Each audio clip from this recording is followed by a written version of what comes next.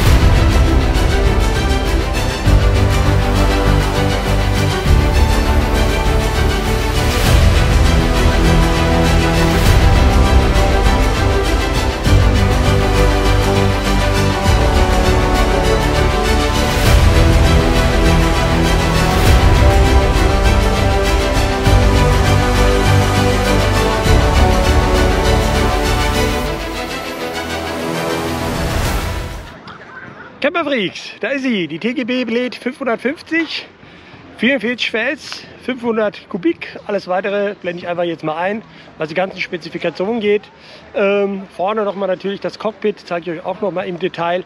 Aber ansonsten wird das jetzt hier kein äh, techniklastiges Video, sondern eher so meine Fahrenrücke von den letzten ja, drei, vier Tagen, wo ich die TGB Blade 550er jetzt fahren durfte. Übrigens einen ganz lieben Gruß an Tobi vom Quadcenter Friedbash, dass ich die hier fahren durfte, äh, die ich als Leihgabe auch bekommen habe. Ist ein ganz neues Modell. Äh, ich fahre sie sozusagen jetzt auch ein. Äh, deswegen äh, bin ich da auch extrem vorsichtig. Aber natürlich, ihr wisst es ja, der Perry ist mit allem vorsichtig in seinem Leben. er will keine Kratzer, keinen Dreck und kein gar nichts. Also das ist mein Spleen halt. Und äh, natürlich umso mehr, wenn man sowas mal geliehen bekommt. Also wie gesagt, lieben Gruß an Tobi. Und äh, ja, jetzt zeige ich euch mal das Cockpit vorne. Hier das Cockpit der TGB Blade 550, also was haben wir hier? Äh, E-Starter, hier vorne sieht man ihn. Äh, dann natürlich hier äh, Abblend, Fernlicht, Warnblinker, Blinker und hier unten haben wir die Hupe. Dann haben wir noch den Override-Modus. Override heißt, also wenn ich den äh, drücke, dann habe ich äh, rückwärts genau die gleiche Geschwindigkeit, als würde ich vorwärts. Also wer es braucht, ich jetzt eher nicht. Dann haben wir hier äh, Out-In für die Seilwinde vorne, die verbaut ist.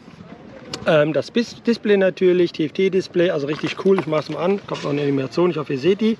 Genau, da ist sie. Also mit allem, was man so braucht. Äh, Tankanzeige, Kilometer natürlich, welchen Gang man eingelegt hat. Ähm, Zündung, an, aus. Ups, da muss ich ein bisschen aufpassen. Ähm, äh, aufpassen, weil äh, ja, die Batterie, aber da passiert eh nichts. Ähm, dann, wenn man ganz rechts äh, dann schaltet, gehen die Lichter an, also beziehungsweise man hat natürlich ein Tagfahrlicht, das ist immer auch in der Position, aber in der Position zum Beispiel sind ja auch die richtigen Lichter dann an und dann kann man die hier damit, wie gesagt, Abblendlicht, Fernlicht, kann man damit steuern. Ähm, ja, und hier haben wir äh, Nebelschlussleuchte und hier natürlich die entsprechenden ähm, anzeigen, damit man weiß, ob er die Nebelschlussleuchte anhat oder nicht. Dann haben wir auch richtig, was ich richtig cool äh, finde, abschließbaren Tankdeckel bei der TGB Blade. Ähm, hier haben wir die Gänge, äh, Low, High, Neutral und äh, Rückwärtsgang. Äh, Park-Modus haben wir hier jetzt nicht bei der 550er. Ähm, weiter geht's hier, haben wir die Handbremse, hier das Down. Camperfreaks, hier haben wir eine Aktion für euch mit dem Pforzheiner Friedbash. Also, die Erstinspektion bei jedem Kauf von der TGB Blade, egal ob es eine 550er, eine 600er oder eine 1000er ist, ist gratis. Also die Erstinspektion im Wert von 200 bis 400 Euro, je nach Modell natürlich, ist gratis. Den Code blende ich euch hier ein. Camperfreaks Quad Inspektion ist ein bisschen lang, aber das ist der Code. Hier das Daumengas, was richtig super ist. Also es ist schön weich, es ist nicht zu hart eingestellt. Das heißt also, äh, ja, es ist super und top, angenehm zu fahren. Äh, ja, Spiegel kennt man ja, Standard hier. Die Windabweiser hier ähm, für die Bremsen kann man auch immer so schön gucken, wenn ihr das seht. Da, da auch. ähm, wie viel Bremsflüssigkeit drin ist, ist ja super wichtig. Dann haben wir hier noch einen abschließbaren, ähm, ein abschließbarer Handschuhfach auf beiden Seiten. Das Highlight bei dem hier ist jetzt aber, man hat hier auch eine USB-Steckdose, also hier da, äh, 12 Volt sind das. Kann man sein iPhone äh, darüber laden, während man hier cool äh, mit der TGB Blade 550, ich sage jetzt einfach 550, das ist mir jetzt zu doof, hier den ganzen Namen immer zu erwähnen. Macht man dann hier wieder zu, einfach ganz geschmeidig. Ja, und das war's dann. Und äh, wie gesagt, Tankinhalt 14 Liter, passen hier rein in der TGB Blade. Ich hatte sie nämlich gestern äh, fast auf null, deswegen weiß ich das so genau. Und wie gesagt, da ist nochmal das zweite Handschuhfach. Der Sitz hier ist super angenehm zu sitzen. Ähm, ja, das war es jetzt erstmal vom Cockpit. Jetzt sehen wir uns mal die TGB Blade von vorne an. Da haben wir natürlich den schicken Kühlergrill. Also ich finde den, also was die ATVs betrifft, ähm, ja, von der Optik her finde ich, ist die TGB Blade 500, äh, boah, jetzt wiederhole ich mich schon wieder, also die 550er, also generell die TGB so rum, ähm, eines der schönsten ATVs. Hier vorne haben wir auch die Seilwinde, ähm, die verbaut ist, auch bei der 550er natürlich. Ähm, wir haben 12 Zoll Alufelgen. Ähm, ich muss jetzt mal genau schauen, was sind das? Ah, AT25 mal 8 Strich 2, also das sind Ken äh, äh, Kenderreifen. Ähm, wie gesagt, schicke Alufelgen, wie ich finde. Äh, ja, vorne hier natürlich hier, wo man sich äh, nochmal die dritte äh, Bremse hier unten haben wir dann noch und dann hier nochmal für den Sozius, hier nochmal diesen, diesen, diesen, diesen Würfel, sage ich jetzt mal, wo man seine, seine Schuhe, seine Füße drauflegen kann. Ähm, hinten auch die Schmutzfänger. Gehen wir jetzt mal nach hinten. Übrigens, ganz, ganz wichtig, ich gehe nochmal nach vorne. So, das sind LED-Scheinwerfer. Also richtig schön. Äh, ich mache die mal an. An sind sie jetzt. Ihr seht das. Also richtig tolle LED-Scheinwerfer. Also super cool. Also sieht richtig, richtig gut aus. Wie gesagt, ich habe jetzt komplett die Fernlichter mal an. Ähm, jetzt zeige ich euch noch mal das Tagfahrlicht. Tagfahrlicht sieht jetzt so aus. Ihr seht das. Also richtig schick, diese LED-Leiste da, die TGB verbaut. Also richtig, richtig schick. Fällt mir sehr, sehr, sehr, sehr gut. Ich zeige euch aber noch mal kurz den Blinker. Den, den Spaß tun wir jetzt auch noch. Hier noch, wie versprochen, die Blinker der TGB. Also richtig schön, richtig schön gemacht. Also Bombe. Weiter geht's jetzt äh, nach dem kurzen Intermezzo mit den Lichtern vorne. Äh, ja, mit der Rückseite der 550er. Also super geil. Hier Anhängerkupplung. Zieht bis zu, oh, ich glaube 900 Kilo. Blende ich euch ein, aber wie viel. Hier natürlich auch die Steckdose, die man braucht, äh, damit man dann einen Anhänger anschließen kann, der Rücklichter hat. Hier natürlich Sportfederung hinten Sieht richtig geil aus und äh, ja, zu meinem Fazit komme ich gleich und erzähle ich mal die Highlights. Also richtig cool. Ähm, hier würde ich euch auch noch mal die Lichter, Moment, die schalte ich jetzt mal ein. Nebelschlussleuchte, Doppelauspuff, also richtig cool. Und äh, ja, jetzt zeige ich euch mal die Rücklichter. Die sind nämlich auch aus LED. Hier jetzt die Rücklichter aus LED. Also LED-Rücklichter so rum. Also richtig schön. Und das ist übrigens, ja, hatte ich ja gerade erwähnt, die Nebelschlussleuchte. Und hier die Schmutzfänger, ja, ist jetzt das, was mir jetzt nicht so gut gefällt, muss aber sein vom Gesetzgeber her, äh, müssen die dran. Ähm, die neueren, was heißt die neueren, das ist der 2023er Modell. Also die 600er meine ich jetzt zum Beispiel der Elvis, der hat feste, äh, gefallen mir besser, sehen auch besser aus. Aber das wird TGB bestimmt nächstes Jahr dann updaten spätestens. Aber ist auch nicht so schlimm. Also ist jetzt äh, nicht so was, was ich jetzt, also ich habe mich daran gewöhnt, sage ich mal so. Da ist auch der Motor, Motor. Ich hoffe, ihr seht ihn. Ja, da ist der Motor. Ja, und hier nochmal von der anderen Seite. Und ganz wichtig, das ist ja die Special Edition. Äh, 550er. Und äh, ja, richtig schickes Teil. Und jetzt kommen wir auch schon zu meinem Fazit. Das Fazit zur 550er TGB Blade fällt vorneweg positiv, sehr, sehr positiv.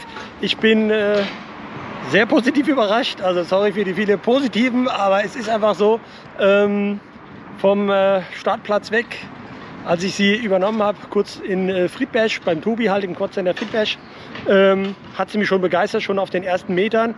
Also äh, gibt ordentlich Gas, ist aber auch wirklich auch für Anfänger, die sich jetzt nicht so trauen, hier mit den gleich mit den äh, ja, 84 PS Monstern in Anführungsstrichen, die TGB Blade 1000er, die kriegen wir ja demnächst. Ähm, dafür wird ja Elvis verkauft, das könnt ihr im vorigen Video ja auch sehen, ähm, das ich abgedreht habe. Ähm, und äh, ja, der Elvis, die 600 hat ja 44 PS, die 550er hier hat 40 PS und äh, ja, man merkt ein wenig, also nur ganz klein wenig, dass sie 4 PS weniger hat als die 600er, aber ansonsten äh, ja, verzeiht viele Fahrfehler. Ähm, von, von, von, der, von der Haptik her, von der Qualität her bin ich auch überzeugt. Ähm, tolle Verarbeitung. Ähm, auch wenn man jetzt links, rechts äh, äh lenkt, verzeiht sie Fahrfehler, wenn man zu schnell ist, Daumengas, butterweich. Also das ist auch für mich auch eine Touringmaschine, so 70 bis 80 km/h, auch von der Lautstärke her. Also ich muss sagen, ich bin hellauf begeistert. Hätte ich das vorher gewusst, hätte ich mir vielleicht erst eine 550er statt der 600er. Andererseits, die 600er liegt auch ein bisschen höher, ist ein bisschen brachialer. Ihr wisst ja, Optik ähm, ist bei mir wichtig. Und nee, ich hätte mich doch für die 600er entschieden. Und jetzt wird es sogar eine 1000er. Also von daher, ihr wisst, ich brauche Bums. Und äh, ja, die 550er macht einfach nur Spaß. Ähm, hinten der Sozius, zweiter, kann auch ganz angenehm sitzen. Genau wie bei der 600er auch. Also ich vergleiche das jetzt immer mit der 600er so ein bisschen. Und äh, 14 Liter Tankinhalt, das hatte ich schon erwähnt, mache ich jetzt nochmal. Und ja, macht Spaß. Also ich, ich kann es euch nur empfehlen. Kostet 8.700 Euro. Das ist jetzt aber die Special Edition. Die hat die Gepäckträger vorne und hinten.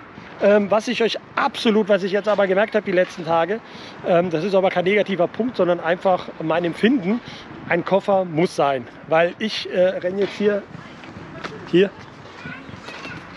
mit dem Rucksack. Und äh, ja, das ist für einen äh, YouTuber ist ein bisschen doof äh, mit dem Rucksack oder auch anderes, wenn du deinen Helm dabei hast oder so, mal schnell irgendwo reinhüpfen willst.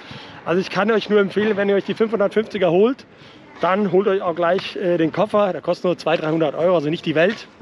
Und mit dem Tobi kann man ja sprechen. Und ganz, ganz wichtig, es gibt ja auch mit Kooperation mit den Camper Freaks gibt es ja die erste Inspektion auch bei der 550er für Umme, heißt also umsonst. Könnt ihr die dann holen. Ähm, und dann ist auch die erste Inspektion nach 1000 Kilometer ist hier natürlich fällig. Ähm, kostet euch nichts. Ist ein super Service vom Callcenter Friedberg, den ich absolut empfehlen kann. Also absolut tolles Team vor Ort.